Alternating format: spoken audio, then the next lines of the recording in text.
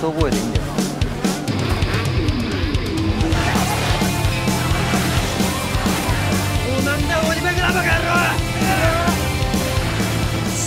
Sonan Junai Gunmi tahun 2020 serial drama Jepang yang diadaptasi dari manga dengan judul yang sama ini akan menceritakan tentang dua orang sahabat yang bernama Eikichi Onizuka dan Ryuji Danma yang sedang berjuang mencari cinta dan jati diri. Eikichi dan Ryuji adalah duo terkuat dari STM Sonan yang sangat ditakuti di seluruh sekolah di Osaka. Karena kehebatan mereka dalam bertarung, mereka berdua mendapat julukan sebagai duo Onibaku, yang artinya adalah ledakan iblis. Apa jadinya ketika duo yang suka membuat masalah ini mencoba meninggalkan kehidupan berandalan mereka dengan masuk ke sekolah baik-baik? Apakah kehidupan mereka bisa normal atau kembali terlibat baku hantam? Ada infografis tokoh-tokoh yang berperan di serial ini. Yuk kita gaskan!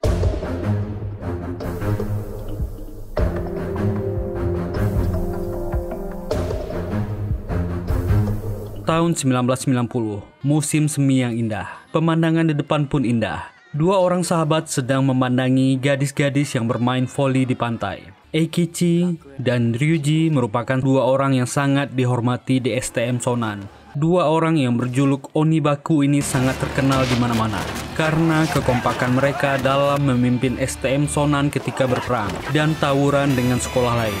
Namun di sisi lain, Eikichi dan Ryuji sudah merasa bosan dengan kehidupan yang mereka jalani setiap harinya. Hanya dihabiskan untuk tawuran saja. Padahal di belakang pemandangan indah ini adalah dua kelompok yang saling tawuran dan baku hantam sekolah. STM Sonan melawan geng motoran dari sekolah lain. Kedua orang ini tak memperdulikan rekan-rekan mereka yang meminta bantuan untuk bergabung berkelahi dan memilih kehidupan yang indah bermain dengan gadis-gadis cantik di pantai. Tapi itu hanya impian kosong. Gadis-gadis ini berteriak ketakutan, menganggap mereka berandalan. Penjaga pantai ternyata seorang Yakuza, mengejar mereka dengan marah. Tak ada pilihan, mereka bergabung dengan rekan-rekan STM Sonan untuk baku hantam.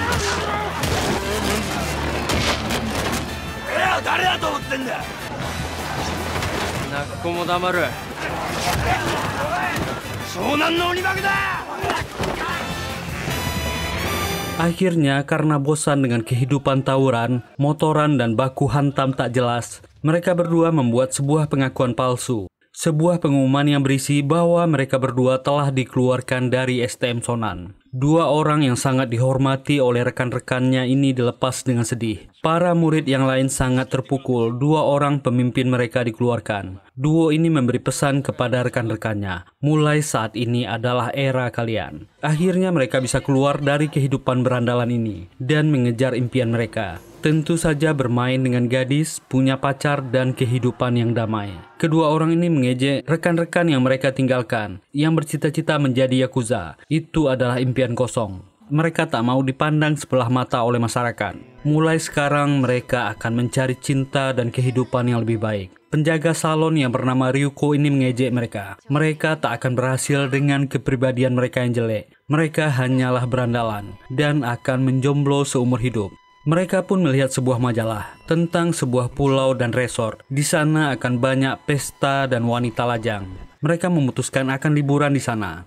Melihat para gadis bermain di kolam renang, mereka sangat bersemangat. Apalagi salah satunya menyapa mereka dan meminta minuman. Tapi itu hanya impian kosong. Mereka kembali gagal. Ada dua gadis yang sangat manis menarik perhatian mereka. Suasana itu dikacaukan oleh sekelompok pria yang mengacau di kolam renang. Mereka berdua memutuskan pergi dari sana. Mereka mencoba peruntungan mereka di sebuah klub malam. Di sinilah tempat wanita lajang berkumpul. Mereka mencoba mengamati situasi. Dua wanita manis yang mereka lihat di kolam renang tadi melintas di depan mereka. Tapi kedua gadis ini diganggu sekelompok orang. Sekelompok berandalan dari Osaka. Memaksa kedua gadis ini bermain dengan mereka. Tentu saja kedua wanita ini menolak. Sonta Eikichi dan Ryuji pun menarik perhatian kedua wanita ini dengan menjadi pahlawan mencoba melindungi mereka. Eikichi meminta ini diselesaikan di luar. Orang-orang ini menarik mereka berdua dengan percaya diri akan menghabisi kedua orang yang nampak lemah ini.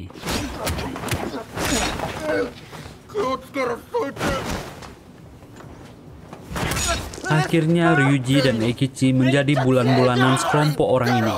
Tapi mereka adalah duo Onibaku yang terkenal. Dua gadis ini khawatir terhadap dua pemuda yang menolong mereka. Ternyata di luar, kelompok berandalan ini terkapar di lantai. Kedua gadis ini langsung senang dan mengajak mereka berdua ke hotel untuk mengobati luka mereka. Pentolan berandalan ini melihat kartu ID Eikichi yang terjatuh. Kedua orang ini yang hanya sedikit terluka akhirnya diajak ke hotel oleh kedua wanita ini. Mereka pun mengobati lukanya. Kedua gadis ini bernama Ayumi dan Mariko. Kedua orang ini sangat senang dan sangat bersyukur sudah berhenti jadi preman sekolah. Kedua gadis ini mengaku mereka adalah mahasiswi dari Tokyo. Dan kedua pemuda ini juga mengaku mereka juga mahasiswa kedokteran dari Tokyo. Membuat kedua gadis ini sangat bersemangat. Calon dokter loh, Eikichi dengan pede mengeluarkan karet saktinya dan membaginya dengan Ryuji. Kedua orang ini sangat bersemangat. Jantung mereka berdebar keras. Apakah ini saatnya keperjakaan mereka lepas? Gadis-gadis ini mengatur rencana. Mariko akan mengajak Eikichi ke kolam renang. Sementara Ayumi akan berduaan dengan Ryuji di kamar. Mereka tak boleh melewatkan kesempatan ini. Ekichi dan Ryuji telah mempersiapkan diri mereka dengan memakan banyak obat penghilang bau mulut untuk melewati malam yang panjang ini. Akan tetapi karena memakan obat ini berakibat buruk terhadap duo Onibaku ini. Saat berdua dengan Ayumi, Ryuji tiba-tiba bersikap sok keren. Dia menghentikannya. Dia ingin mengenal Ayumi lebih jauh dulu dan permisi dari kamar itu. Padahal sebenarnya Ryuji sakit perut akibat makan obat penghilang bau mulut. Sama dengan keadaan Ikichi di kolam renang. Ketika saat menyenangkan itu akan tiba, perutnya tak bisa diajak kompromi. Kedua orang ini bertemu di lobi dan saling menyalahkan dan berteriak-teriak mencari toilet. Apalagi toiletnya cuma satu. Ryuji terpaksa menghajar Ikichi dan meminta maaf. Kedua gadis ini nampak sedih. Apakah mereka yang terlalu murahan? Sehingga kedua mahasiswa calon dokter tadi pergi meninggalkan mereka. Mereka bahkan belum bertukar alamat. Nasib kedua berandalan ini sungguh malang. SMA Fujiko cuma sekolah normal bagi murid yang normal. Ternyata duo Onibaku memutuskan untuk mendaftar sebagai murid baru di SMA Fujiko. Dan secara tidak diduga, dua orang ini bertemu kembali dengan Ayumi dan Mariko. Kedua gadis ini ternyata guru di sekolah ini. Pertemuan yang tidak diharapkan keempat orang ini. Mereka kaget dan saling memaki dan menuduh mereka penipu. Duo ini pun marah Kedua gadis muda ini ternyata sudah tua. Sekelompok berandalan yang menemukan ID Ekichi menyerbu ke SMA Fujiko. Para murid ketakutan. Pemimpin orang ini bernama Okuno. Dia berteriak marah. Inilah akibat mencari gara-gara dengan mereka. Duo Onibaku keluar. Murid-murid lain ketakutan saat akan diserang para berandalan ini. Duo ini maju ke depan akan membereskan ini. Mereka sangat gahar dan barbar.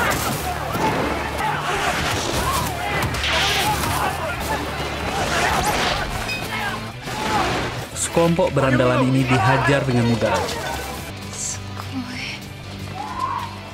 Okuno membokong duo Unibaku dengan curang.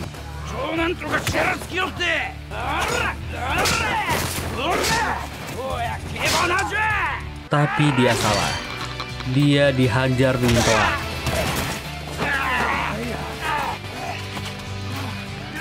Duo ini berteriak, mereka adalah Onibaku. Mereka akan meladeni setiap perkelahian. Setelah pertarungan tersebut, sayangnya identitas duo Onibaku sebagai jagoan akhirnya terbongkar diketahui oleh seluruh murid SMA Fujiko, membuat semua murid di sekolah tersebut takut karena nama Onibaku memang terkenal sebagai berandalan yang sangat ganas. Kedua orang ini kecewa, padahal mereka telah menolong para murid. Kedua guru muda ini kecewa, tak menyangka duo Onibaku yang sangat terkenal pindah ke sekolah mereka. Kemudian Ayumi dan Mariko mengobati luka mereka. Ayumi memastikan bahwa duo Onibaku tidak akan dikeluarkan dari SMA Fujiko. Kedua guru ini memiliki dedikasi yang tinggi. Walau mereka berandalan, mereka percaya kedua orang ini akan berubah. Mereka tak akan menelantarkan murid-murid mereka. Kedua orang ini sangat terkesan dengan sikap kedua guru wanita ini. Mereka dikenalkan di depan kelas oleh Bu Guru Ayumi. Ternyata kelas itu diisi oleh anak-anak berandalan. anak-anak yang paling nakal dan malas dari siswa-siswa di SMA Fujiko. Ekichi dan Ryuji dengan terpaksa memasang muka ramah dan murah senyum. Dua orang siswa bernama Makoto dan Sukai mendatangi mereka dengan gaya sengak. Tapi kedua orang ini ternyata adalah fans mereka. Mereka sangat menghormati Onibaku. Ryuji segera menolak dan menyuruh kedua orang ini pergi. Mereka telah meninggalkan dunia premanisme. Kedua orang ini kecewa dan mencoba merayu. Seorang gadis bernama Ito juga ikut campur merayu, tapi segera diusir. Makoto punya penawaran sangat menarik buat mereka berdua. Minggu depan adalah festival sekolah Elis. Itu SMA putri kelas atas. Siswinya cantik-cantik dan kaya. Tanpa undangan tak ada yang boleh masuk. Makoto segera mengeluarkan tiket. Kedua orang ini langsung tergoda. Mereka akan membuat klan Onibaku di sekolah ini. Masuk festival dan bertemu cewek-cewek cantik lebih penting dari apa pun bagi kedua orang ini. Sementara Ayumi dan Mariko mendapat kabar dari kepala sekolah bahwa akan ada guru BK baru untuk murid yang bernama Minamino Yoko. Guru Minami ini terkenal sangat keras dan disiplin. Sementara kedua orang ini sangat hormat kepada duo ini dan memuji-mujinya. Makoto bertanya satu hal, ada gosip yang beredar di luaran. Dua orang ini telah tidur dengan 100 orang cewek. Dua orang ini langsung bengong, padahal mereka masih perjaka ting-ting. Mau pacaran tapi tak pernah berhasil. Yang begonya dua orang ini memamerkan mereka pernah punya mantan lebih dari 10. Kedua orang ini makin geram dan menyuruh mereka diam. Dua orang sedang duduk di sebuah kafe kecil. Tempat ini memang banyak didatangi murid-murid berandalan yang bolos sekolah. Dan dua orang ini bernama Kamada dan Seijima. Dua murid berandalan terkenal yang dijuluki anjing gila di daerah mereka. Dan mereka pindah ke wilayah Osaka. Kebetulan para murid-murid STM Sonan datang dan membicarakan kehebatan duo mantan ketua mereka yang telah pindah ke SMA Fujiko. Kedua orang ini tertawa dan mengejek. Itu membuat murid-murid STM Sonan ini marah. Perkelahian tak bisa dihindarkan. Kedua orang ini sangat tangguh. Murid-murid Sonan bukanlah lawan mereka.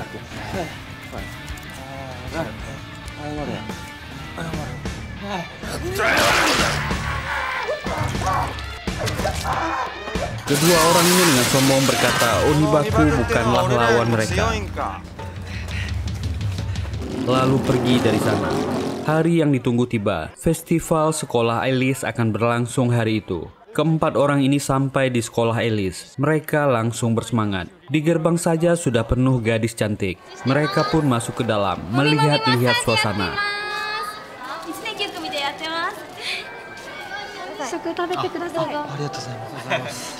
Sukai berbisik. Gosipnya siswi-siswi ini akan memberikan hatinya kepada orang yang disukainya di festival ini. Duo Onibaku makin bersemangat. Orang-orang berebutan tiket acara Mak Comblang di atas panggung. Harga tiket itu sangat mahal. Dengan sigap, Makoto mengeluarkan tiket VIP birunya untuk kedua Onibaku ini. Dan acara perjodohan itu dimulai. Ekichi dan Ryuji ternyata mengincar cewek yang sama, yang bernama Aina.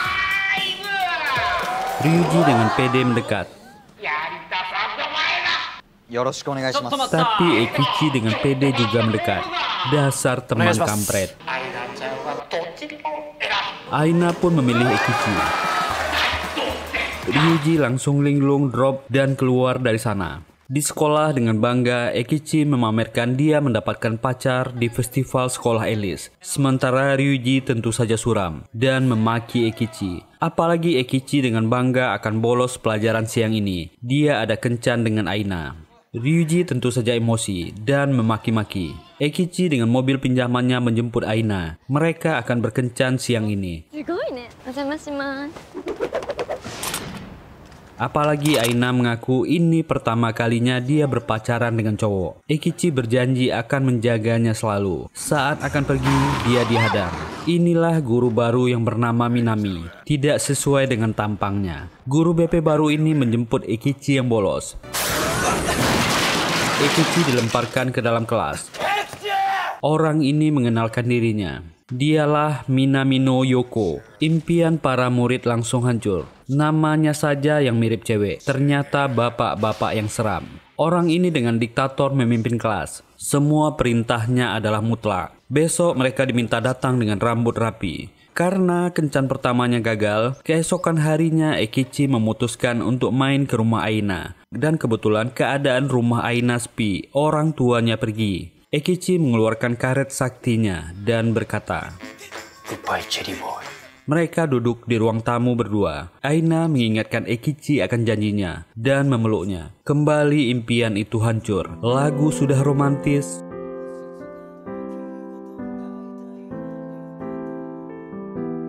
Suasana sudah sahdu.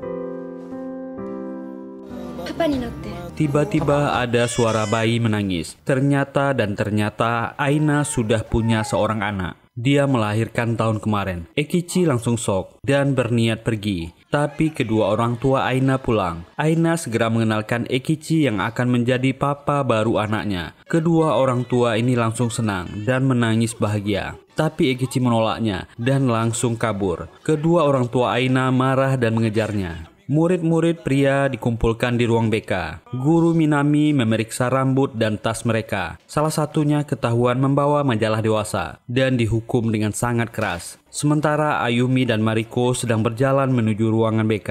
Tindakan guru yang satu ini makin berlebihan. Suka yang ketahuan menyimpan foto itu ditampar dengan keras. Itu membuat Ekichi tak tahan lagi. Dia menuntut guru ini minta maaf. Tapi Minami meminta mereka datang besok dengan kepala botak. おい、リーチ。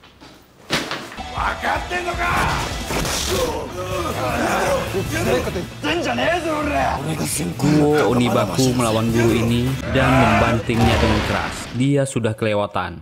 Kepala sekolah Ida datang dengan marah. Dia berteriak akan langsung mengeluarkan duo Onibaku dari sekolah. Tapi murid-murid lain membelanya, termasuk Ayumi dan Mariko. Karena guru Minamilah yang salah, dia sudah kelewatan. Meminta agar dua orang ini tidak dikeluarkan. Ayumi dan Mariko juga mengancam akan mengundurkan diri jika kepala sekolah benar-benar mengeluarkan duo Onibaku. Kepala sekolah Ida tentu tak ingin kehilangan guru terbaiknya. Dia batal mengeluarkan dua orang ini. Di tempat kafe kemarin, Sukai dan Ito sedang mengobrol. Tempat yang sama dengan murid-murid Sonan yang dihajar kemarin. Tiba-tiba kelompok preman yang juga sedang duduk di sana memarahi Sukai yang sedang bercanda dengan Ito. Sukai yang sok jago pun melawan, ingin pamer dengan Ito. Tapi ternyata orang-orang ini sangat banyak. Sukai dihajar habis-habisan. Sementara salah satu murid berteriak meminta tolong kepada duo Onibaku. Sukai dihajar habis-habisan di kafe sebelah. Walaupun Sukai melawan, dia dipukuli.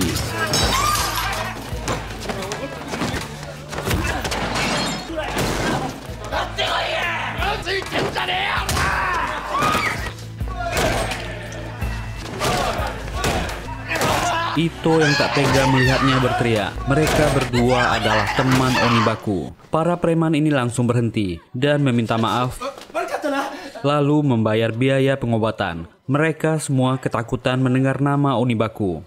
Tapi nasib malang mereka belum berhenti. Dua anjing gila, Kamada dan Seijima datang ke sana. Mereka mendengar Sukai adalah teman Onibaku. Dan duo Onibaku datang terlambat. Sukai sudah dihajar babak belur. Ito memarahi duo Onibaku yang datang terlambat. Makoto menyadari ada orang yang mengincar Onibaku, dua anjing gila dari Kyuken, karena ada tanda yang mereka tinggalkan di parkiran. Ekichi Onizuka sedang bermimpi menjadi seorang guru, memasuki kelas dan diberi salam oleh murid-muridnya. Dan tiba-tiba dia dibully oleh murid-muridnya karena statusnya yang masih perjaka. Ekichi pun terbangun dan berteriak sangat keras. Makoto, Sukai, dan Ito mentertawakan Ekichi yang mimpi di siang bolong. Ryuji terlihat sedang mengobrol dengan Bu Guru Ayumi di lorong sekolah. Ryuji sangat berterima kasih atas bantuan Ayumi kemarin. Dua orang ini terlihat akrab. Apalagi Ayumi agak salah tingkah bicara dengan Ryuji. Dia bahkan memberi Ryuji tugas, dia harus mendapatkan nilai 80. Ryuji berkata dia akan berhasil dan akan meminta hadiah dari Ayumi. Itu membuat Ayumi salah tingkah dan malu-malu. Ekichi mengintip hal tersebut, terlihat sangat kesal dan pergi dari sana. Makoto yang sedang berjalan di lorong dipalak dua orang murid. Dia harus memberikan mereka dua roti di kantin. Makoto yang sedang merasa dekat dengan duo Onibaku menolaknya. Dua orang ini mengancamnya. Jika dua jagoan sekolah yang sedang dihukum kembali dari cuti, dia akan merasakan akibatnya. Tapi Makoto tetap melawan dan menolak. Ternyata Seijima dan Kamata adalah siswa sekolah Fujiko. Dua orang ini baru saja bebas dari hukuman dan kembali ke sekolah. Dua orang ini langsung menindas Makoto. Sejak dia dekat dengan Onibaku, dia jadi belagu. Seijima akan memberi tugas untuknya. Awas jika dia menolak. Ekichi, Sukai, dan Ito sedang duduk di kafe dan ngobrol-ngobrol. Datanglah Makoto dengan wajah suram. Ekichi pun mengajak Makoto untuk keluar. Sukai dan Ito mencemaskan duo Onibaku yang terlihat renggang dan tak sering bersama. Apalagi dua jagoan pengacau sekolah kembali. Sepulang sekolah, Makoto menemani Ekichi untuk memata-matai Ryuji dan Ayumi yang sedang berduaan di tempat bowling. Mereka terlihat sangat bahagia. Ekichi yang melihat Ryuji berduaan dengan Ayumi pun terlihat sangat marah dan beranggapan bahwa Ryuji meninggalkannya. Tega-teganya dia bersenang-senang, sementara dia patah hati. Kedua orang ini semakin dekat, walaupun mereka murid dan guru. Ternyata tujuan Ryuji cuma satu, bisa berpacaran dan melepaskan status perjakanya. Ayumi keluar dari kamar mandi. Gadis ini akan menyerahkan dirinya untuk Ryuji karena dia juga menyukainya. Ayumi cuma meminta satu hal jika dia serius dengannya. Setelah tamat, segeralah bekerja dan nikahi dia. Dia ingin cepat-cepat punya anak. Ryuji agak panik. Dia belum berpikir sejauh itu. Ternyata permintaan Ayumi lebih berat. Dia ingin Ryuji berhenti gelut dan keluar dari Onibaku. Ekichi yang mengikuti kedua orang ini semakin putus asa. Dia melihat Ryuji dan Ayumi berada di dalam hotel. Dia merasa Onibaku akan bubar setelah ini. Berniat pergi dari sana. Makoto mencoba membujuknya. Dia kebetulan akan bertemu dengan pacarnya. Pacarnya membawa teman wanitanya. Bagaimana jika dia juga ikut? Ekichi langsung semangat. Makoto lalu mengajak Ekichi ke suatu tempat. Tapi ternyata Ekichi telah dijebak. Sejima dan Kamata telah menunggu di sana dengan curang langsung menyerang Ekichi. Ternyata orang-orang inilah yang mengancam Makoto agar membawa Ekichi ke sini. Ekichi tak menyangka Makoto mengkhianatinya. Makoto langsung meminta maaf. Sejima dan Kamata menghajar Ekichi yang sudah tak berdaya. Makoto merasa sangat bersalah. Walaupun sempat melawan, tapi orang-orang ini terlalu banyak. Ekichi mengejek orang-orang ini yang cuma bisa bermain curang mengeroyoknya.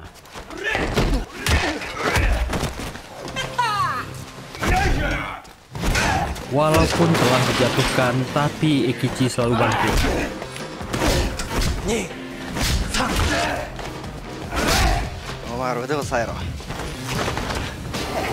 Mereka dengan barbar melukai tangan Ekichi. Bu Ayumi yang sedang mengajar heran melihat Ryuji, Ekichi, dan Makoto tidak hadir di kelas. Sementara dua orang ini semakin menjadi-jadi di sekolah.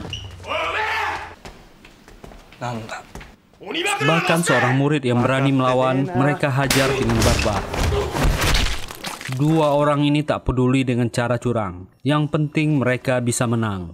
Makoto terpaksa menjadi suruhan orang-orang ini lagi. Sukai dan Ito melapor kepada Ryuji yang sibuk memikirkan tentang masa depannya. Kedua orang ini memarahinya. Sekolah mereka dalam masalah diacak-acak oleh dua orang anjing gila, Seijima dan Kamata. Tapi Ryuji tetap tak peduli. Setelah mendengar kabar Ikichi, dia langsung panik menuju rumah sakit.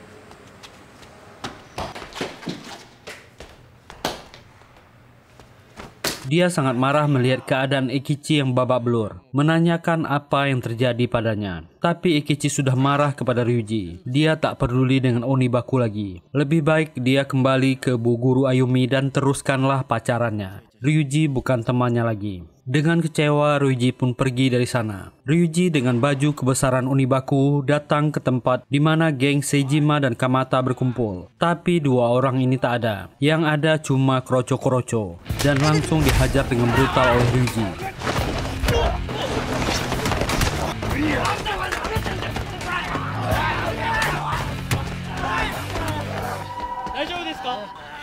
Orang-orang ini babak belur dan dibawa oleh ambulan. Ayumi datang ke rumah sakit menemui Ikichi. Tapi sebenarnya Ikichi masih sangat memikirkan temannya. Dia berkata Ryuji sangat menyukai Ayumi. Tolong bimbing dia. Dia tak masalah Onibaku harus bubar. Asalkan Ryuji bahagia. Tapi Ayumi membantahnya. Ryuji tak pernah meninggalkannya. Dia tak pernah berniat meninggalkan Onibaku. Dia telah meminta Ryuji memilihnya dan berhenti gelut. Keluarlah dari Onibaku. Tapi Ryuji menolaknya. Ekichi adalah teman paling berharga baginya di dunia ini. Dia belum bisa meninggalkannya dan meminta maaf kepada Ayumi. Ekichi akhirnya sadar apa yang terjadi. Ryuji sampai di markas Sejima dan Kamata. Anak buahnya yang menghalangi Ryuji dibuat terkapar dan babak belur. Akhirnya kedua pentolan ini keluar. Anak-anak buahnya segera mengeroyok Ryuji.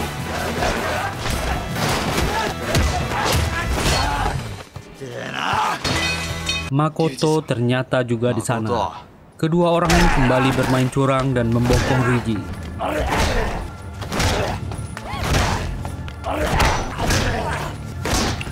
Mereka sangat bangga bisa mengalahkan duo Onibaku yang terkenal. Tapi Ryuji bangkit dan berkata Ekichi jauh lebih kuat darinya. Mereka hanya bisa bermain curang. Orang-orang ini berkumpul dan ingin menghajar Ryuji. Saat itulah Ekichi datang dengan seragam Onibakunya. Dan jika kedua orang ini bersatu, mereka tak punya lawan.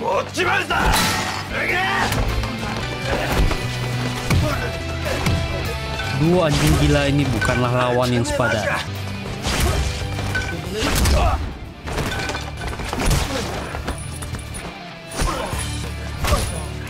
Mereka dihajar dengan sangat parah. Anak buah kedua orang ini langsung ketakutan dan lari dari sana meninggalkan bosnya. Kamada berdiri dan mengeluarkan pisau, masih berniat membokong. Tapi Kamoto menghajar orang ini. Sukai dan Ito juga sampai di sana. Mereka menyalahkan Makoto yang berkhianat. Tapi Ekichi membantahnya. Makoto tak pernah meninggalkan mereka. Makoto langsung terharu dan dipuji oleh Sukai dan Ito. Duo Onibaku kembali bersatu dan menyelesaikan masalah.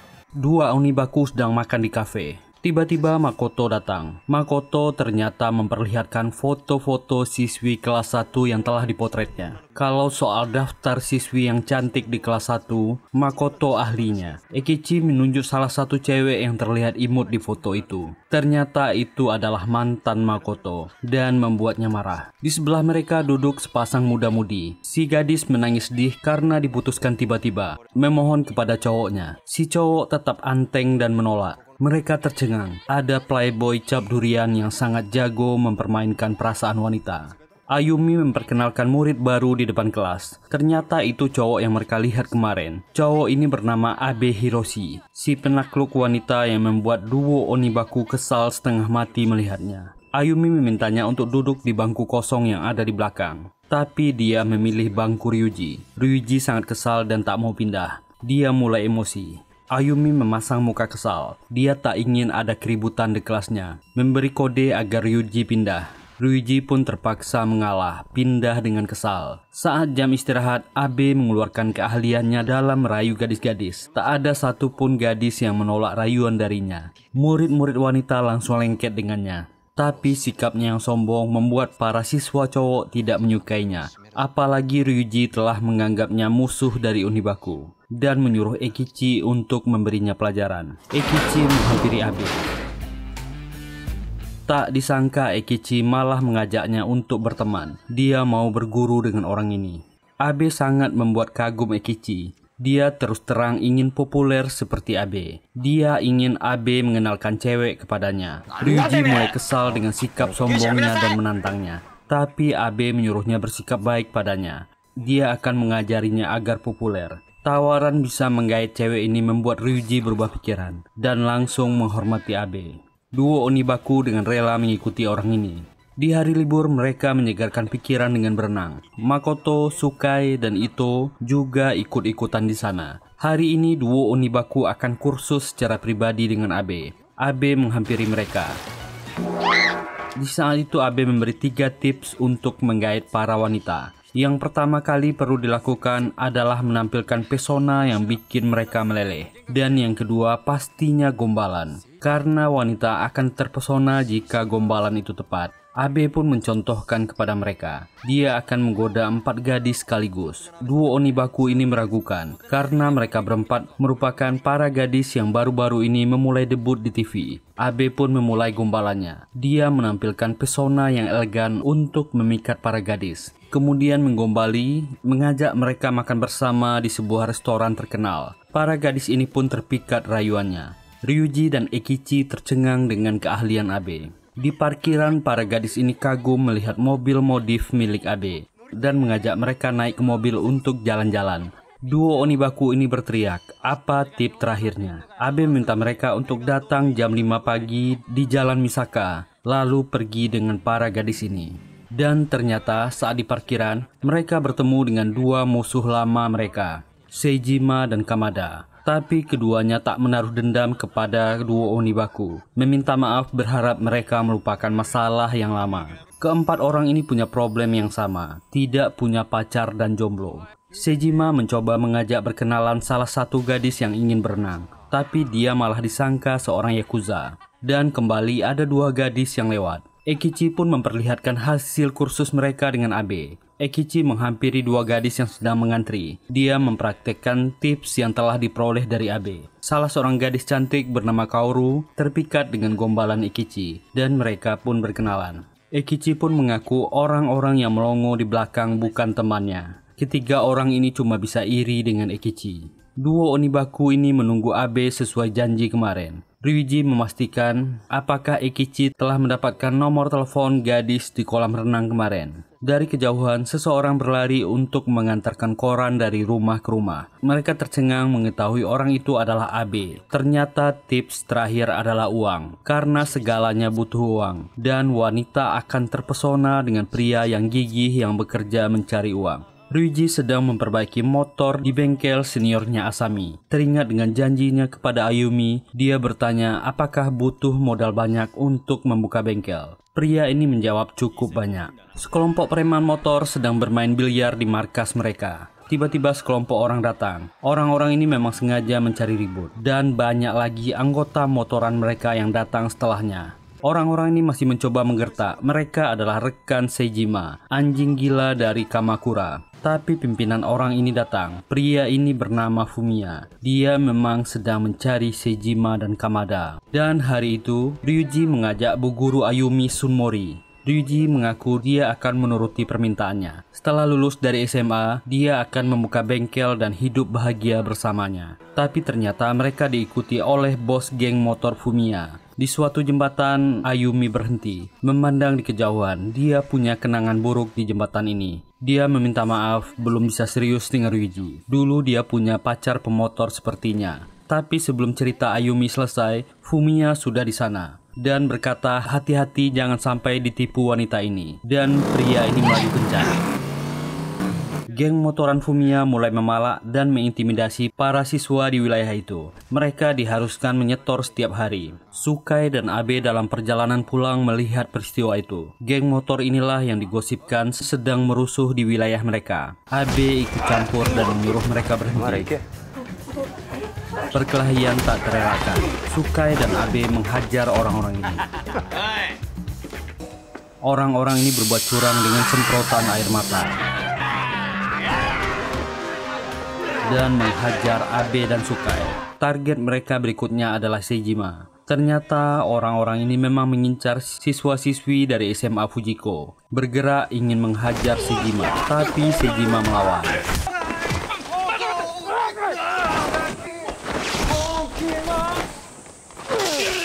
Dan dia dikalahkan karena orang ini berbuat curang. Ryuji sedang membicarakan rencananya dengan Ikichi. Setamat SMA, dia akan pindah untuk membuka bengkel. Dia ingin serius dengan Ayumi. Reaksi Ikichi cukup senang. Dia bahagia dengan impian temannya. Dan Ikichi juga sedang kasmaran dengan gadis yang bernama Kaoru. Tapi tiba-tiba Kamoto datang, membawa kabar buruk. Teman-teman mereka diserang. Membuat kedua orang ini kecewa. Lagi gosipan tentang cinta-cintaan malah diajak pergi gelut. Geng motor Fujima sudah menguasai tempat teman-teman Seijima berkumpul. Tentu saja membuat Seijima dan Kamata tak terima. Mereka berdua datang ke sana ingin membalas perbuatan mereka tempo hari. Salah satunya segera mengontek teman-temannya yang lain agar berkumpul. Gelut dan baku hantam tak terhindarkan. Dua orang ini melawan banyak orang.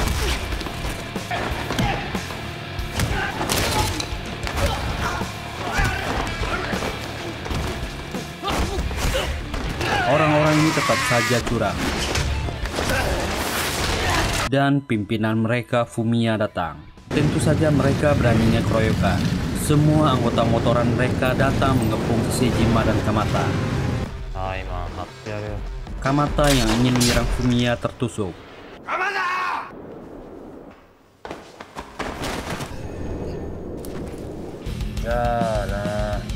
Sejima panik melihat keadaan temannya. Saat itulah rombongan Ryuji datang. Dia mengenal pria bermotor di jembatan ini dan berteriak.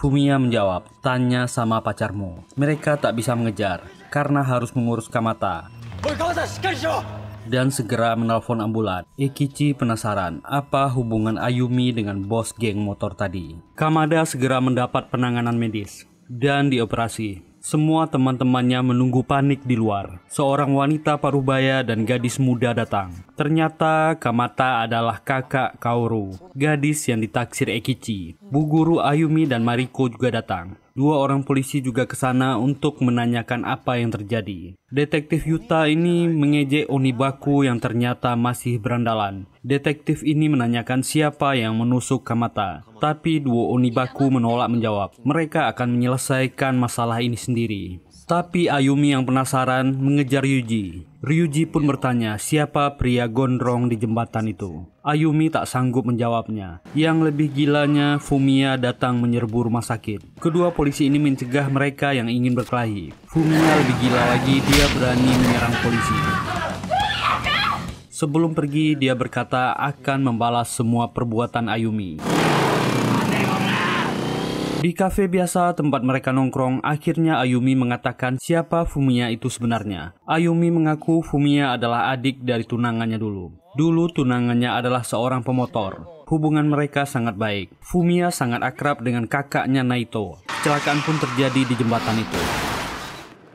Ayumi berhasil selamat, tapi Naito tunangannya meninggal. Dan Fumiya yang sangat akrab dengan kakaknya sangat marah. Dia menyalahkan Ayumi, kenapa hanya dia yang hidup. Dari dulu Fumiya menyimpan dendam kepadanya. Dia sempat lama tak bisa melupakan peristiwa itu. Ketika Ryuji datang kepadanya, dia ingin melangkah maju dan membuat hidup baru. Tapi saat ini Fumia datang kembali. Makoto dan Abe datang, keadaan sekolah sangat gawat. Mereka mengincar orang-orang yang kenal dengan duo Onibaku. Kaoru pun datang mencari Ekichi. Kaoru mengajak Ekichi menemaninya jalan-jalan. Berterima kasih karena telah menjaga kakaknya Kamata. Gerombolan Fumia datang ke sekolah Kaoru dan menculik gadis ini. dan Ayumi yang sedang meletakkan bunga di jembatan juga diculik oleh Fumia. Kedua gadis ini dikurung di gudang. Fumia hanya peduli dengan dendamnya. Dia akan melenyapkan Ayumi dan orang-orang yang dekat dengannya. Orang ini sudah dibutakan dendamnya sendiri. Dia akan memancing Ryuji kekasihnya dan teman Onibakunya. Semuanya akan berakhir di sini. Ito datang membawakan sesuatu ke kelas. Ada orang yang melemparkan ini di depan sekolah. Itu barang-barang milik Kaoru dan Bu Guru Ayumi. Dan ada pesan di kertas, lokasi dan tempat mereka harus datang. Duo Onibaku sangat marah dan meninggalkan kelas. Dengan motoran dan seragam kebanggaan Onibaku, mereka bergerak. Orang-orang ini menutup jalan dan duo Onibaku datang. 本当に来やがった Ruiji berkata hari ini dia akan memberi mereka pelajaran dengan kedua tinjunya. Orang yang hidup di masa lalu tak akan bisa melanjutkan hidupnya. Dua orang ini ingin menabrak dua Onibaku. Tapi tak berhasil. Fumiya segera kabur dan dikejar oleh Ruiji. Sekarang tinggallah para Kerocho. Ekichi berteriak mereka cuma pecundang yang harus diberi pelajaran. Sementara Ryuji menggeber motornya mengejar Fumiya.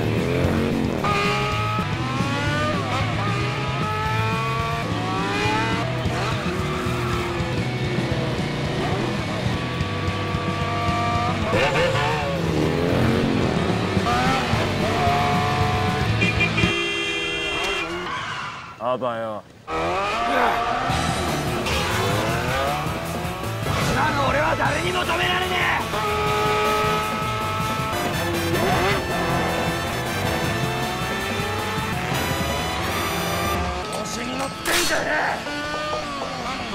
Dengan licik, Fumiya menyerang motor Ryuji dan jatuh dari jembatan. Dia sangat senang Ryuji terjatuh, tapi Onibaku tak akan bisa dikalahkan semudah itu. Ryuji memanjat dari jembatan, dan Fumiya mulai ketakutan melawan orang gila ini. Dia bukanlah lawan Ryuji, cuma menjadi bulan-bulanan pukulan keras Ryuji.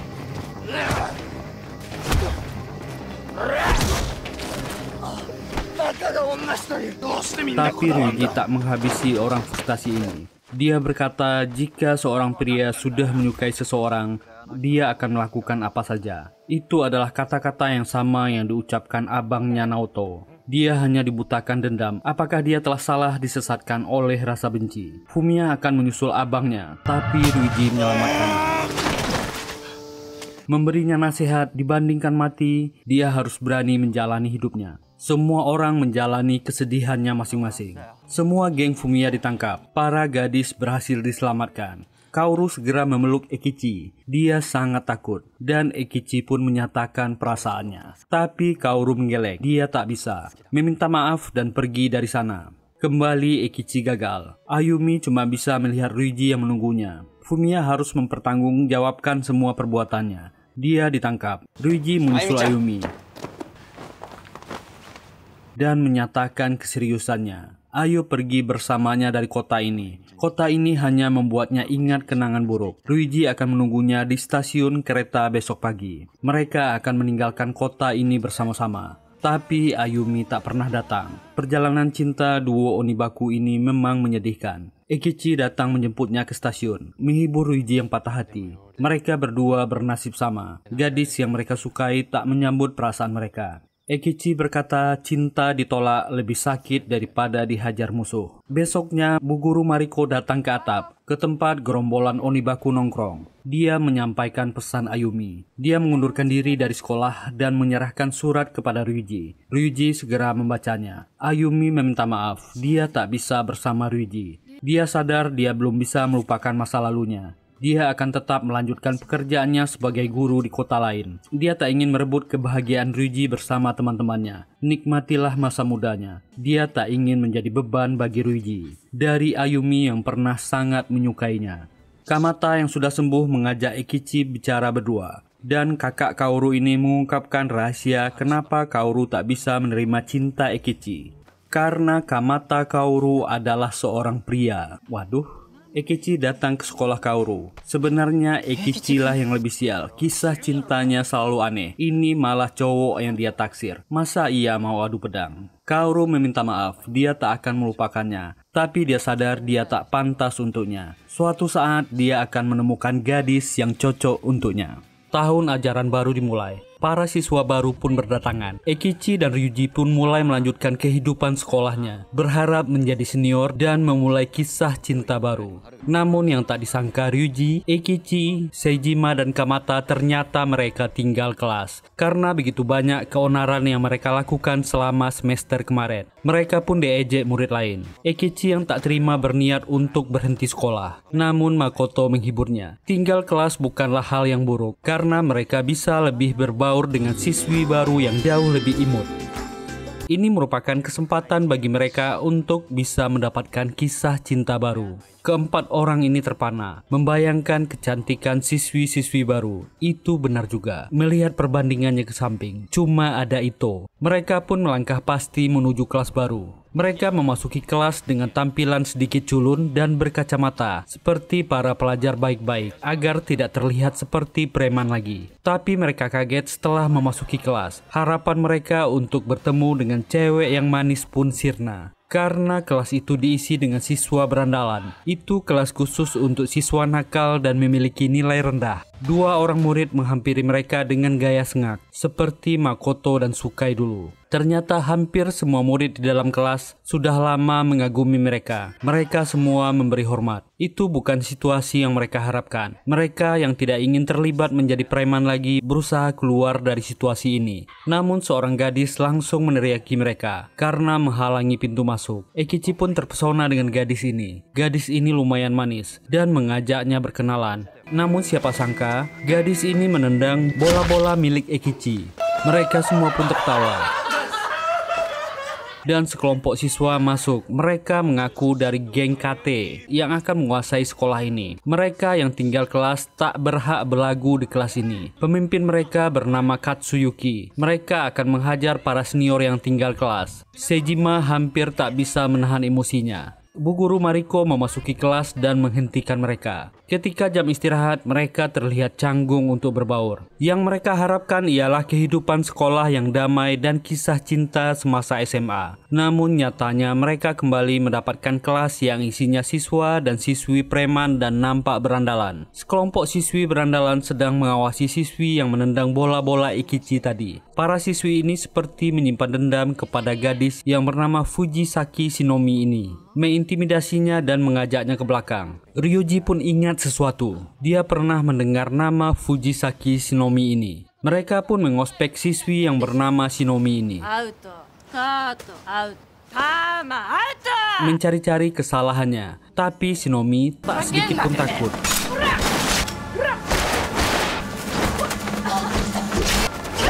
Dia menghajar siswi-siswi ini.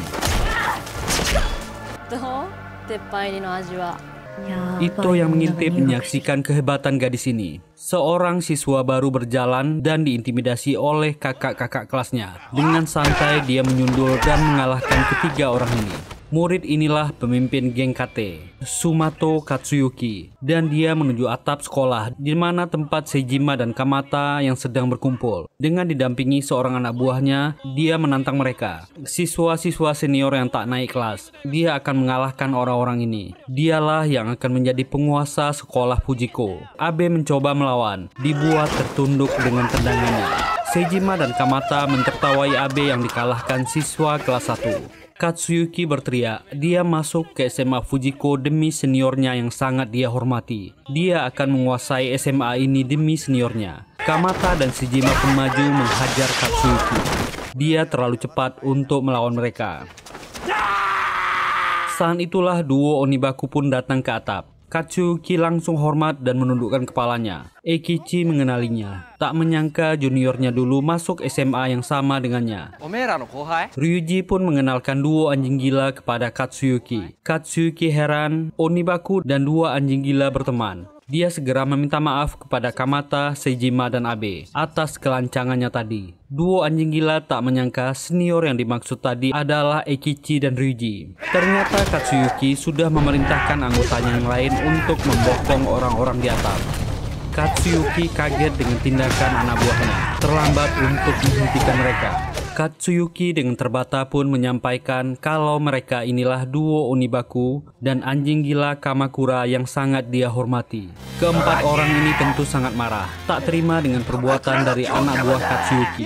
Mereka melampiaskan kemarahan pada keduanya, dan kedua orang ini dihajar. Shinomi menunggu Ekichi di depan kelas, bertanya kenapa Ekichi tak mengingatnya. Ryuji pun segera memberitahu, Shinomi adalah tetangga masa kecilnya dulu. Gadis culun yang sok preman ternyata menjadi gadis cantik. Ekichi tertawa dan tak menyangka. Tiba-tiba Shinomi kembali dan menendang bola-bola Ekichi.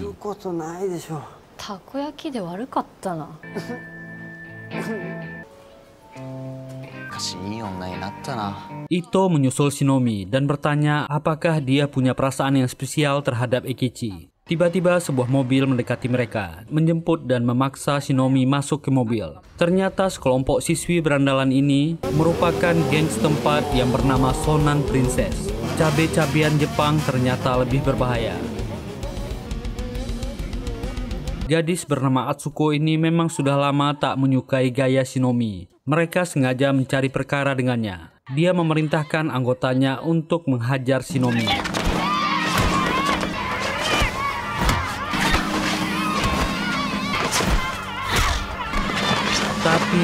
Semua dikalahkan. Sekarang Atsuko sendirilah yang menghadapi Shinomi. Kedua gadis ini berbalas pukulan. Atsuko dikalahkan. Sebuah mobil datang dan seorang wanita keluar dari mobil ini. Ternyata dia adalah ketua geng cewek ini yang bernama Miki. Dia marah karena anak buahnya dipermalukan oleh seorang bocah SMA yang belagu. Memarahi Atsuko yang dihajar Shinomi. Miki menyerang Shinomi. Dia mengeluarkan sebuah pisau silet dan berniat melukai wajah Shinomi. Saat itulah duo Onibaku datang bersama Ito. Ikichi menyuruh mereka berhenti. Sesama cewek tak pantas gelut. Miki yang tak terima ingin menghajar duo Onibaku. Tentu saja itu tak mungkin. Ikichi malah menggoda pemimpin preman cewek ini. Karena kalah, Miki memanggil seseorang dari mobil. Seorang Yakuza pun keluar dan mengancam duo Onibaku. Duo Onibaku memang biasanya tak ingin mencari masalah dengan Yakuza. Ikichi dan Ryuji meminta maaf kepada Yakuza ini. Orang ini berniat membawa Shinomi ke kantor mereka untuk memberinya pelajaran. Namun Shinomi menolak. Yakuza ini pun marah dan menamparnya. Ekichi paling pantang melihat orang memukul cewek, menyuruhnya berhenti. Yakuza ini marah. Kedua pemuda ini berani mencari masalah dengannya. Yakuza ini dengan sombong mengeluarkan pistolnya. Dengan sebuah tendangan, duo Onibaku sukses membuat Yakuza ini terkapar. Shinomi kagum dengan Ekichi. Dia tetap saja keren seperti biasa. Ekichi sangat benci orang yang memanfaatkan jabatan mereka. Ternyata ketua preman cewek Miki ini pun terpesona kepada Ekichi. Dia kagum dan terkesima, meminta Ekichi menjadi pacarnya. Walaupun Ekichi jomblo, namun untuk pacaran dengan cewek preman tentu saja dia nggak mau. Ekichi segera kabur. Ekichi dan Ryuji berlibur ke sebuah pantai. Mereka berkeluh kesah muak menjadi preman karena mereka tak bisa mendapatkan wanita yang baik dan cantik jika mereka masih preman seorang pelayan menghampiri mereka, memiliki paras yang cantik, membuat mereka berdua terkesima. Ryuji pun salah tingkah. Wanita cantik ini bernama Nagisa. Ryuji sangat terpesona dengan gadis yang membuatnya langsung melupakan Ayumi. Mereka saling berkenalan. Melihat itu, Ikichi menjadi iri. Ryuji terlihat asik mengobrol dengan gadis pelayan ini. Setelah menghabiskan makanannya, Ekichi berniat pergi dari sana memberikan Ryuji sebuah hadiah. Itu adalah karet sakti. Ryuji segera menutupnya. Nagisa hanya bisa menatap kebingungan Untung Nagisa gadis polos. Dia tak menyadari apa benda itu. Tiba-tiba Nagisa dipanggil oleh pelanggan lain. Kedua orang ini sepertinya preman dan menggodanya. Tiba-tiba Nagisa berteriak. Ryuji terkejut berlari ke belakang. Melihat dua preman yang menggoda Nagisa tadi terkapar di rumput. Dan sebuah motor dengan logo gangster yang Ryuji kenal, Midnight Angel. Itu adalah kelompok terkenal yang sudah bubar. Ternyata Nagisa tidak sepolos yang terlihat. Ryuji berusaha memanggilnya. Nagisa menggeber motornya dan pergi dari sana. Suasana di dalam kelas, banyak murid yang gak datang. Dan Pak Guru yang bernama Kenji ini sedang ngorok di kelas. Seijima tak tahan dengan suasana ini, membangunkan Pak Guru Kenji. Pak guru ini kaget dan menyuruh mereka membaca sendiri. Lalu keluar kelas. Mereka heran, Ruiji nggak masuk udah seminggu. Ekichi menduga dia sedang sibuk di bengkel. Usia mereka sudah mendekati 17 tahun. Saatnya berpikir tentang masa depan. Apa yang akan mereka lakukan setelah dewasa? Ekichi iri Ryuji sedang sibuk di bengkel. Dia sudah tahu apa yang dia lakukan setelah lulus. Dan dengan pede, Ekichi mengajak Shinomi pacaran. Gadis ini segera memukulnya begitu tahu Ikichi bercanda. Gadis ini kelihatan kesal. Ryuji sedang bekerja membantu di bengkel seniornya Asami. Ryuji bertanya tentang sesuatu. Klub motor Midnight Angel. Asami adalah salah satu pentolannya dulu. Tapi Ryuji melihat logo ini beberapa hari yang lalu. Asami membantahnya. Klub itu sudah lama hancur dan bubar. Ryuji tak bisa menahan rasa ingin tahunya. Dia menunggu di tempat Nagisa kerja, dan gadis ini pulang. Ryuji segera bertanya apa hubungannya dengan Midnight Angel. Ryuji memaksanya memberitahu. Tiba-tiba gadis ini menangis. Dia benar-benar tak mengerti apa maksud Ryuji. Motor itu adalah punya preman-preman kemarin. Dia kebetulan saja memakainya, meninggalkan tempat itu, lalu meninggalkan motor itu di jalan. Ryuji segera meminta maaf. Dia telah salah duga dan mentraktir Nagisa makan es krim. Ternyata geng Midnight Angel benar-benar sudah bangkit. Mereka mulai memberi pesan kepada geng sekitar Sonan. Tidak butuh banyak geng di wilayah Sonan. Hanya mereka yang akan berkuasa. Dan ketuanya yang tak terduga adalah Nagisa. Dengan brutal dia menghajar ketua geng sebelah.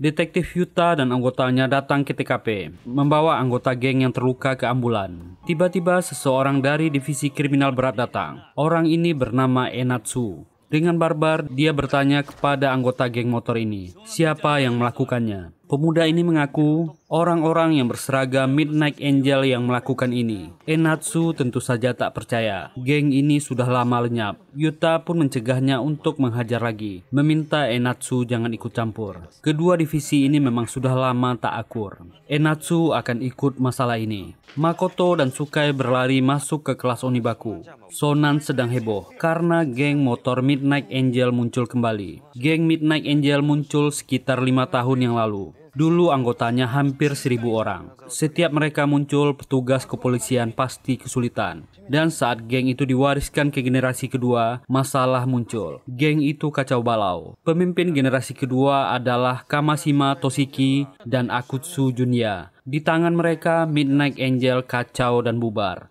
terjadi perang internal di dalam. Sementara pihak kepolisian yang dipimpin Komandan Enatsu memburu setiap anggota Midnight Angel. Ada kekuatan tak terduga waktu itu yang menjadi faktor X. Duo Onibaku tiba-tiba datang mengalahkan kedua ketuanya. Polisi pun semakin gampang menghancurkan mereka. Saat Katsuyuki dan teman-temannya pulang sekolah di stasiun, mereka dihadang oleh geng lain yang menantang mereka. Tentu saja tak ada yang mengalah. Mereka akan memulai perkelahian. Seorang pria tiba-tiba muncul, bernama Kamashima. Shinomi mengenali orang ini. Dia mencegah Katsuyuki yang ingin mengajak gelut pria ini. Shinomi tahu Kamashima adalah bekas ketua Midnight Angel generasi kedua. Dia tak akan bisa menang. Kamashima dulu dikalahkan Onibaku. Sekarang mereka telah muncul kembali. Katsuyuki tak takut. Dulu dia dihajar Onibaku. Sekarang dia akan melenyapkannya. Kamashima menantangnya untuk berdiri di rel kereta.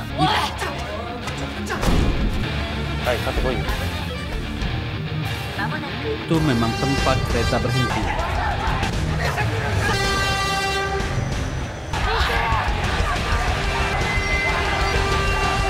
Tapi Katsuyuki tak berani dan naik ke atas. Ternyata Kamashima dulu sudah suka dengan Shinomi. Kalau tidak ada Ikichi, dia akan menjadi miliknya. Setelah dia melenyapkan Onibaku, dia akan menjemputnya. Ryuji berkunjung ke rumah Nagisa. Dia kelihatan sangat grogi. Apakah ini saatnya dia menggunakan karet saktinya? Tiba-tiba kedua orang tua Nagisa pulang. Mereka menyapa Ryuji. Baru kali inilah anak mereka Nagisa membawa teman ke rumah. Mereka ingin membicarakan hal yang penting. Dulu saat mereka baru pindah ke rumah ini, Nagisa yang masih sekolah berteman dengan pria motoran. Setiap dia pulang ke rumah selalu berlumuran darah. Kepribadiannya sangat berubah. Setelah pria temannya ditahan, barulah Nagisa selalu di rumah. Mereka merasa Nagisa punya dua kepribadian. Satu yang selalu marah, yang kedua menjadi anak baik-baik. Nagisa marah, rahasianya dibongkar kedua orang tuanya. Tiba-tiba terdengar teriakan Nagisa. Ryuji segera berlari keluar memeriksa. Dan di garasi motor, Ryuji menemukan motor yang berlogo Midnight Angel. Ini motor kemarin. Nagisa telah berbohong kepadanya. Nagisa pun sampai di sana. Kepribadian kedua gadis ini muncul. Dia memukul Ryuji. Gadis ini kesakitan, kepalanya pusing, menyuruh Ryuji menjauh darinya. Dia tak tahu apa yang terjadi padanya. Di dalam dirinya ada kepribadian yang lain. Dia berteriak agar Ryuji pergi. Pribadi pemarah kembali muncul, lalu kembali menyerang Ryuji. Saat dicegah orang tuanya, dia juga menyerang mereka. Gadis pemarah ini mengaku namanya Yaksa. Nagisa hanyalah gadis lemah, bukan dirinya. Dialah ratu motoran pacar Akutsu Junya. Ini pemimpin Midnight Angel generasi kedua. Ryuji pun pergi dari sana. Dia mengingat sesuatu. Ketua Midnight Angel generasi pertama adalah Masaki, seorang senior yang sangat dia hormati. Masaki membubarkan gengnya karena dia telah salah memilih penerus. Dulu dua Onibakulah yang ditugaskan Masaki untuk menghancurkan Midnight Angel dan mengalahkan kedua ketuanya. Orang ini jugalah yang menyatukan dia dan Ikichi. Dulu mereka berdua adalah musuh. Ryuji pun teringat semua memori itu. Sekarang geng motor rusuh itu telah kembali. Komandan Enatsu datang menemui kepala sekolah Ida. Di kelas Pak Guru Kenji baru selesai mengajar. Kepala sekolah Ida masuk ke kelas. Dia mengeluarkan Katsuyuki karena membuat masalah di stasiun. Ekichi tentu saja tak terima dan protes. Saat itulah Enatsu masuk. Mulai hari ini divisi mereka akan bekerja sama memberantas anak-anak nakal dan Katsuyuki dikeluarkan sekolah Fujiko tak menerima para beranda lagi. Siapa saja yang bergabung di klub motor akan dikeluarkan. Tapi Pak Guru Kenji tak terima dan memukul kepala sekolah. Dia akan melawan siapa saja yang memperlakukan murid-muridnya seperti sampah. Kepala sekolah sangat marah. Dia akan memecat Pak Guru Kenji. Sebelum pergi, Pak Guru Kenji memberi nasihat kepada murid-muridnya untuk tetap menjadi dirinya sendiri. Ekichi mengejar Pak Guru Kenji dan berkata dia tahu apa yang akan dia lakukan nanti. Dia akan menjadi guru sepertinya. Akhirnya Ryuji masuk ke sekolah, menemui Ikichi. Dia mengingatkan temannya tentang janji mereka dulu. Mereka akan berkelahi untuk membuktikan siapa yang terkuat. Tapi sebelum itu, mereka harus melindungi kota Sonan, sesuai janji mereka kepada senior Masaki. Geng motor Midnight Angel telah kembali. Inilah orang yang bernama Akutsu Junya. Dia baru saja keluar dari tahanan, dan Nagisa yang sedang menjadi kepribadian yaksa menunggu di luar.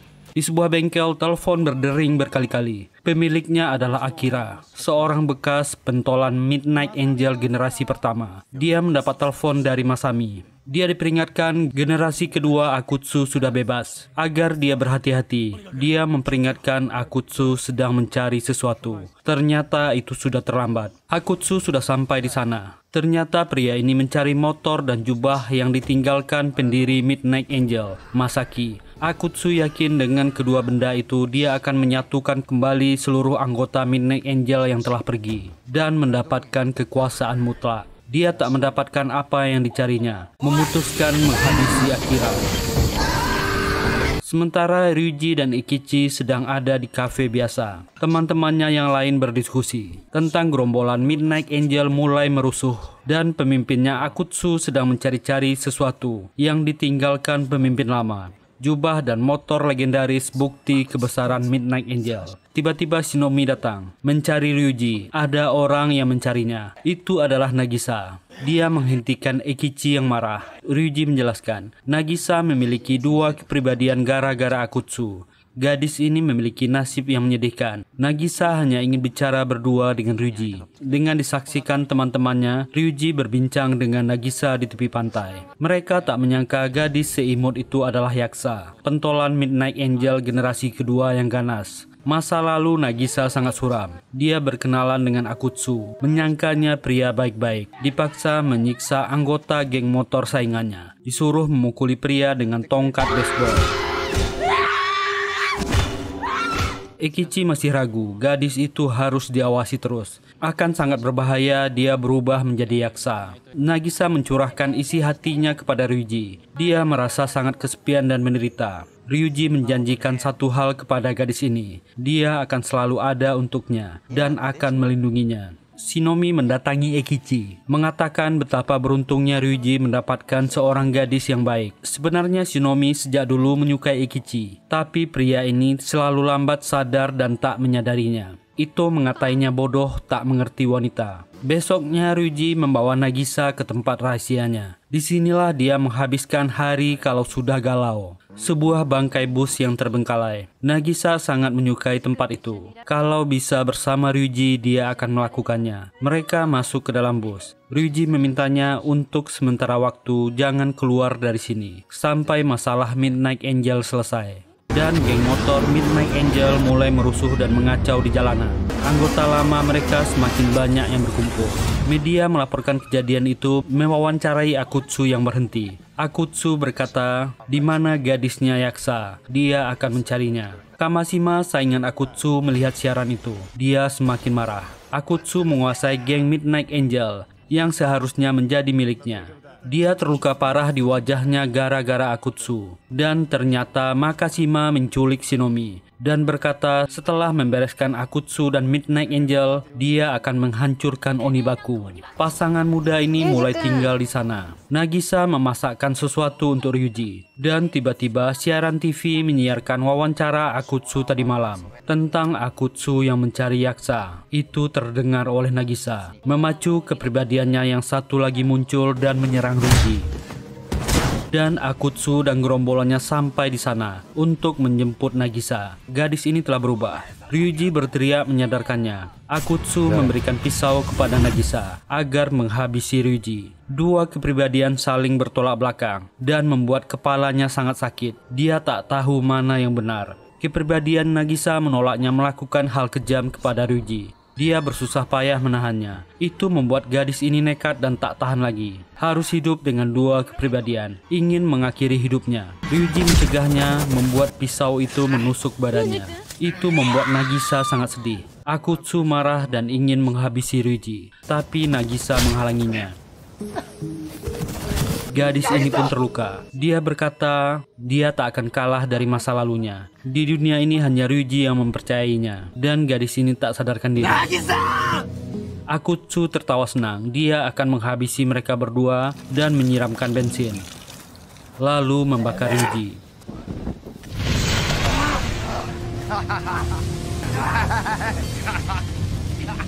Kedua anak muda ini segera dilarikan ke IGD. Ryuji memohon kepada dokter agar mereka ditempatkan di ruangan yang sama. Enatsu mendapat laporan dari anak buahnya. Ryuji dari duo Onibaku telah dikalahkan dan masuk ke rumah sakit. Enatsu ternyata berniat menunggu para preman ini saling berkelahi dan saling menghabisi. Barulah mereka bergerak melenyapkan mereka semua. Geng Satsuri yang diketuai Kamashima bergerak. Mereka akan menyerang Midnight Angel. Enatsu tertawa, ini sesuai dengan rencananya. Sementara di markas Midnight Angel, kedua kelompok ini bertemu. Kamashima berkata, dia telah lama menantikan momen ini. Luka ini tak akan pernah dia maafkan. Kedua geng ini berkelahi dan gelut rame-rame.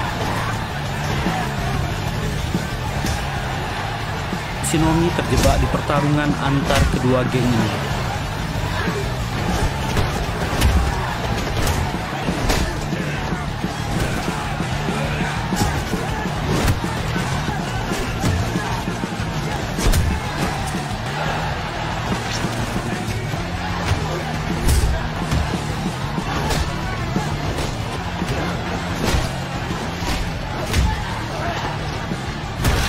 Sementara di rumah sakit, Nagisa dan Ryuji sedang dirawat. Ikichi datang menjenguknya. Dia berjanji akan membereskan ini dan membuat mereka bersama tanpa gangguan. Ryuji meminta maaf kepada Ikichi. Dia tak bisa berjuang bersamanya. Ikichi menyuruhnya tetap tinggal untuk melindungi Nagisa. Ternyata jubah dan motor yang dicari Akutsu ada pada Ikichi. Dulu Masaki sebelum pensiun memberikan dua barang ini kepada Ikichi. Hanya dialah yang bisa mengakhiri perang geng di Sonan. Kembali ke markas Midnight Angel. Pertarungan sedang seru-serunya.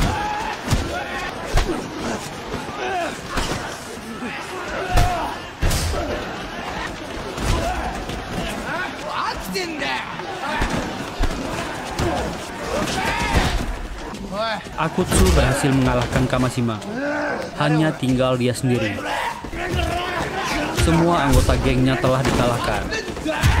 Shinomi yang tak tahu apa-apa juga terlibat. Pria ini tak mau menyerah. Dia lebih baik mengakhiri hidupnya sendiri daripada dikalahkan Akutsu.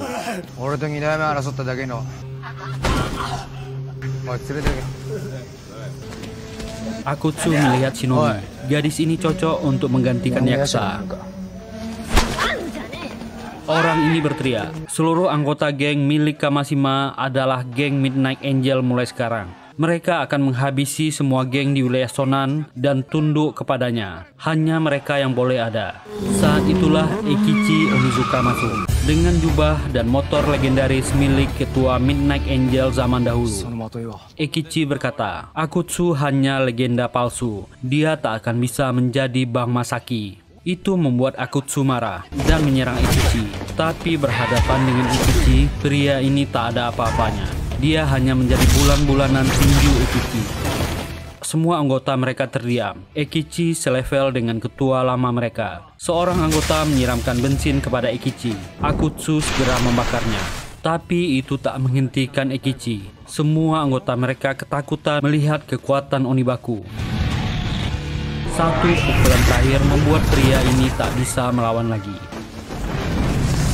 Ekichi berkata, Masaki sudah wafat. Ini bukanlah sesuatu yang diinginkan Masaki. Midnight Angel harus bubar. Akutsu hanya bisa menangis melihat jubah impiannya hancur. Sementara di rumah sakit, Nagisa sadar. Kepribadian yaksanya muncul. Dia memberontak. Dokter Yuji dan para perawat menahannya. Mereka semua kaget. Detak jantung dan nadi Nagisa berhenti. Dan tiba-tiba Nagisa kembali siuman. Denyut nadinya kembali. Akhirnya gadis ini berhasil mengalahkan bagian yang terburuk darinya. Kembali ke markas Midnight Angel. Saat itulah Enatsu dan seluruh pasukan anti huru haranya masuk. Dia akan melenyapkan dan menangkap semua orang di sini.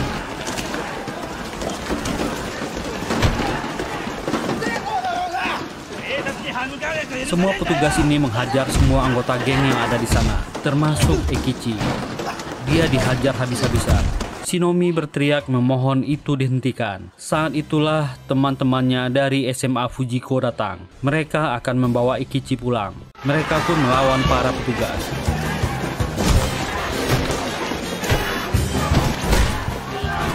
Shinomi akan dipukul segera diselamatkan Ikichi. Saat itulah Ikichi mengatakan perasaannya kepada Shinomi. Dia tak tahu bagaimana mengatakannya, tapi baginya Shinomi adalah nomor satu. Semua keributan itu selesai. Setelah Yuta dan pasukan pembantu datang, dia menasihati Enatsu. Tak boleh menyalahgunakan kekuasaannya. Mereka yang masih muda akan berubah. Bu Guru Mariko meminta maaf dan meminta semua muridnya dimaafkan. Komandan Yuta berkata, kalian punya guru yang baik. Untuk kali ini dia akan melepaskan mereka. Sejima menyukai karakter Yuta. Suatu saat dia akan menjadi polisi juga. Akhirnya semua masalah Sonan selesai. Di pantai inilah duo Onibaku berjanji membuktikan siapa yang terkuat. Ekichi berkata, suatu saat dia akan menjadi guru. Ryuji berkata dia akan membuka bengkel dan melamar Nagisa. Berarti mulai sekarang Onibaku resmi dibubarkan. Dulu mereka selalu gelut setiap hari di tepi pantai. Bang Masaki lah yang memberi saran. Lebih baik mereka berdua membuat geng. Setelah tamat sekolah, barulah mereka berduel kembali, menentukan siapa yang terkuat. Dan hari itu, Ekichi dan Ruji akan gelut. Mereka sama kuat. Dan ketika musim semi, hari yang cerah di pantai, gadis-gadis bermain voli. Bola itu terlempar dan diambil Sejima. Sejima dengan grogi mengembalikan bola, tapi itu malah membuat gadis-gadis ini takut, membuatnya ditertawakan teman-temannya. Suka yang melerai menjadi pelampiasan.